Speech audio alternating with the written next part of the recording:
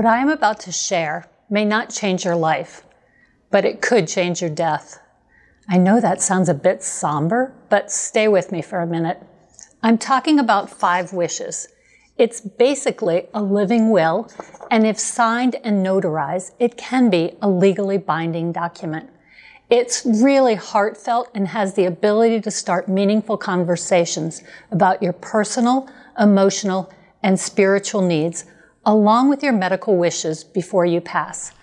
Five Wishes was created by Jim Towey. For more than a decade, Jim worked closely with Mother Teresa, and for a year, he lived in a hospice house she ran in Washington, D.C.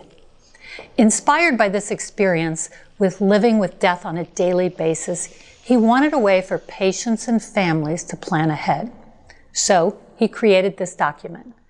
Now, you would think I might have shared five wishes with my own mother, but I hadn't until my mom attended one of my classes and I happened to be discussing this.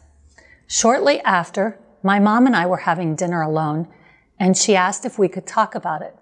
We went through five wishes line by painstaking line. Honestly, I was terribly uncomfortable, but my mom was very clear and calm, and we were able to talk about death from the perspective of what could be the best scenario for her to create.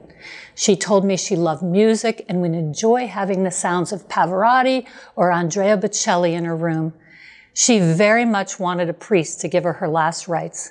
She wanted her family there, and if possible, she wanted someone holding her hand. Touching her was important, more so than my sometimes very tough mother led me to believe. In 2015, I got the call that no one ever wants. My mom was being rushed to the hospital. When I arrived, she was on life support. My mom actually had a do not resuscitate order, but the EMT didn't know that. And honestly, in that moment, I just wanted a little more time with her. With that time, I was able to do many of the things she requested. A priest gave her her last rites. We played her favorite music, and most importantly, our family gathered to say goodbye, and we held my mom's hand.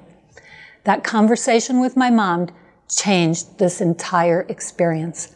I strongly encourage each of you to read Five Wishes and contemplate what is important to you, and then share it with someone you love.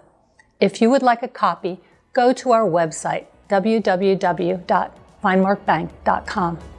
Until next time, I'm Adria Starkey with Aspire, FineMark's financial series for women.